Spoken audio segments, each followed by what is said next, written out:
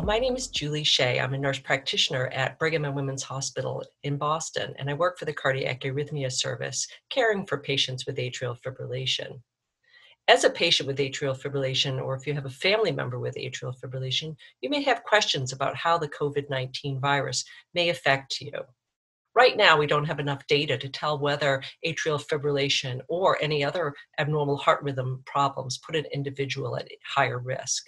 What's important to note is that certain underlying medical conditions may increase your risk.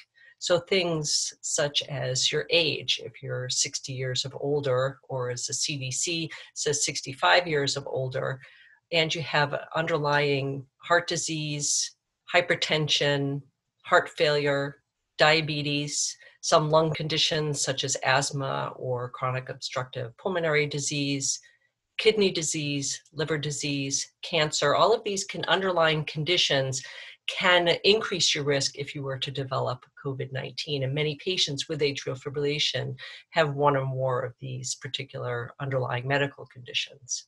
The virus does tend to target the lungs, requiring the heart to work harder to provide oxygen rich blood to the body. AFib is common with severe respiratory illnesses. So, just having the respiratory illness itself can trigger your atrial fibrillation.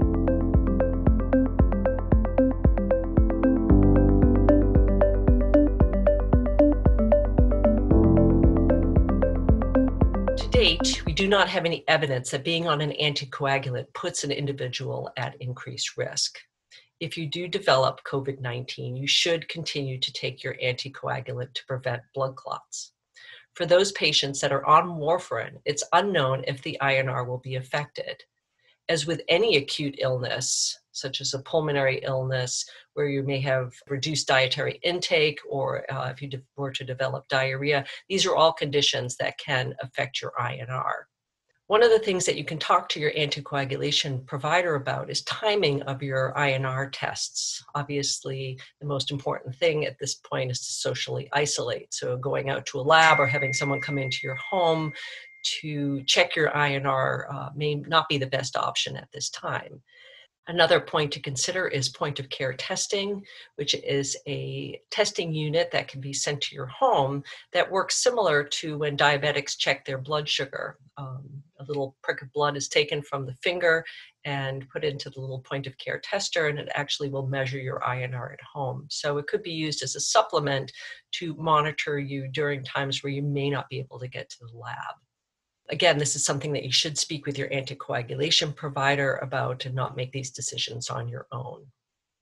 Something else that you can speak with your physician provider about is whether transitioning over to a DOAC, which is a direct oral um, anticoagulant, also works well in atrial fibrillation, but uh, does not require frequent testing as uh, does when you're on warfarin. So you could consider uh, talking with your healthcare provider about possibly switching to that medication. And again, uh, just to reiterate, it's always important to discuss any medication change or blood test change uh, with your provider before making that decision. And lastly, make sure that you are up to date on your influenza and pneumococcal vaccinations. So I'd like to thank you for spending five minutes with me today. Hopefully, this will answer some of your questions. Please stay safe and stay well. Thank you.